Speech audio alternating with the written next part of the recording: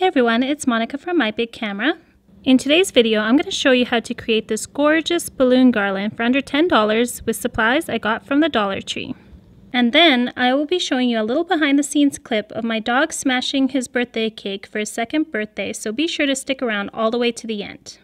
This balloon garland is super easy to make and super inexpensive, but yet looks beautiful and very impressive for a cake smash. This is my first time ever making a balloon garland, and it was on camera, so if I can do it, you could definitely do it too. Okay, let's get into it.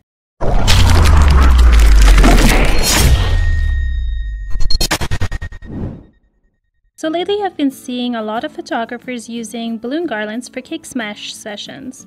We wanted to give it a try for a cake smash session for our dog Ridley who just turned 2 years old this month.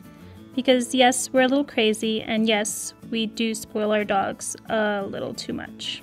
Okay, so to make the garland, you will need some balloons. Dollar Tree has these pretty pearl finish balloons in several colors. Ideally, you should have two different size balloons, 12 inch ones and 5 or 6 inch balloons. But my Dollar Tree only had 12 inch ones, so we will be blowing up some of the balloons less than normal to act as our small balloons. I got 9 packages of balloons in 3 different colors, but I didn't actually end up using all of the balloons, so you can probably get away with just using two packages of each color. You will also need clear fishing line or clear beading wire. I couldn't find any at my Dollar Tree, so I bought this spool of fishing line from Walmart for $3.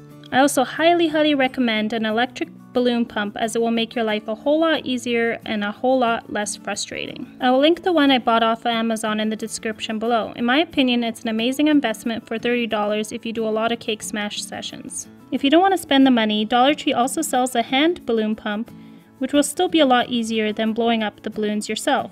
Okay, so let's get started. First I will show you how to blow up the large balloons. To use the pump, just place the mouth of the balloon over the blue nozzle and then gently press down on the nozzle. You want the balloons to be more round and squishy rather than egg-shaped, so don't blow up the balloons all the way. Once you've blown up the balloon, pinch it closed and switch it to your other hand, and while holding it, blow up the second balloon.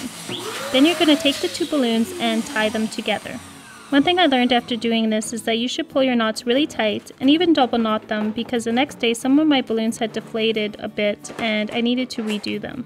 Once I redid them with double knots, the balloon garland lasted for several days.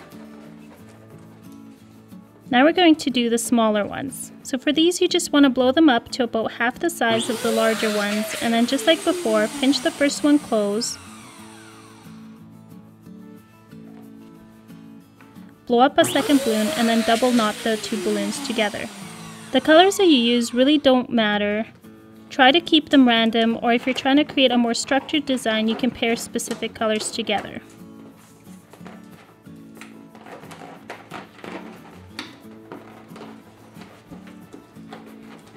Now what you're going to do is blow up another pair of large balloons, tie them together like before, and then you're going to take the first pair you made and twist the two pairs together to create a cluster of four large balloons. For the small balloons, we're just going to keep those as pairs because we're going to use those to fill in gaps in our main garland once we're done.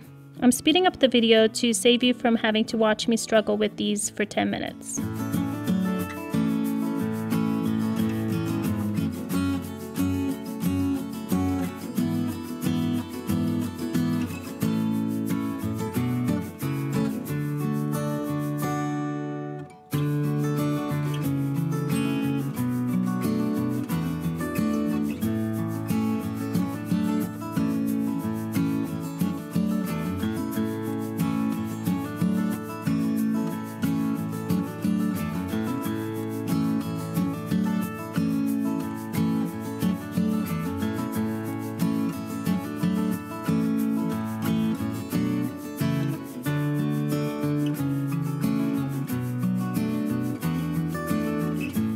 Okay, so here are all of my completed balloons. This literally only took me about 10 minutes to blow all of these up. Initially created 7 clusters of large balloons and 15 pairs of little balloons, but ended up adding 2 more large clusters and 4 more small pairs afterwards. Now what you're going to do is take your fishing line, unravel maybe a 2 foot piece so you can hang it, and then you're going to take one of the large balloon clusters and sort of wrap the fishing line around the middle of the cluster a bunch of times.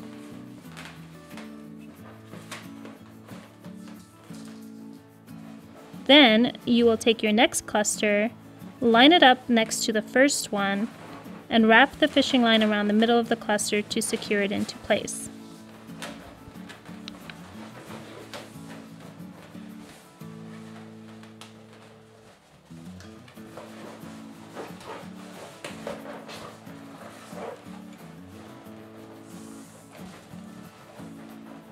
Continue adding your large clusters in the same way until all of your clusters have been added.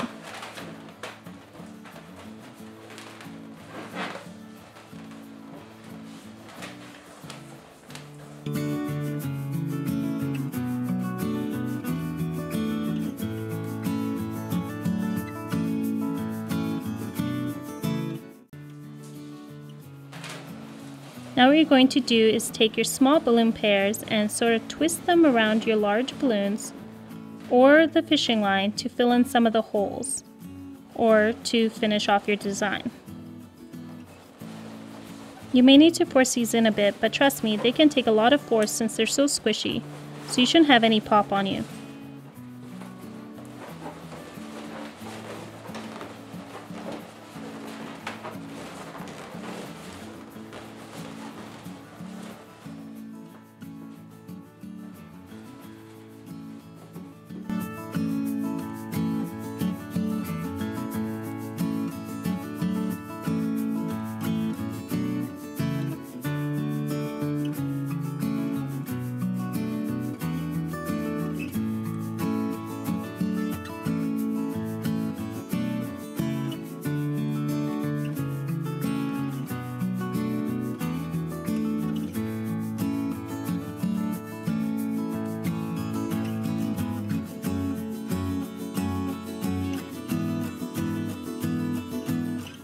And this is my final garland.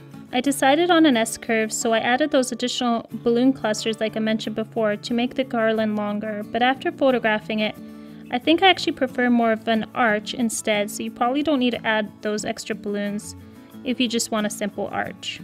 You should just be able to manipulate the garland into the shape you want. I ended up tying mine from the middle with fishing line to the backdrop stand to help get the shape I wanted. Leave some fishing line on the other end of the garland so you can also attach the garland to the sides of your backdrop stand.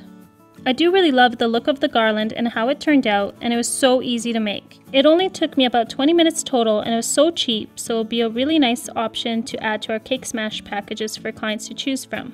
You can get really creative with it and maybe add things like greenery or flowers to make it look even nicer. Okay, so now for the fun part. Here's a small behind the scenes clip and a few photos of our dog's Cake Smash. He's a beagle, so of course he went crazy. The delicious dog cake is made from a local place here in Calgary called Cheddar Dogs that specializes in making dog treats that use all natural ingredients and no artificial dyes or flavors, so it's completely safe and also very delicious for dogs. If you live in the Calgary area, I highly recommend checking her out. I will leave a link to her page down in the description. That's it. Thanks for watching. I hope you found this tutorial helpful. If you liked it, hit that like button and subscribe as well if you enjoy content like this. Also be sure to hit that notification bell so you get notified the next time we release another video. Also, if you want our free Photoshop actions for editing newborns and portraits, you can download them by clicking the link down in the description. Bye for now, and remember, keep creating.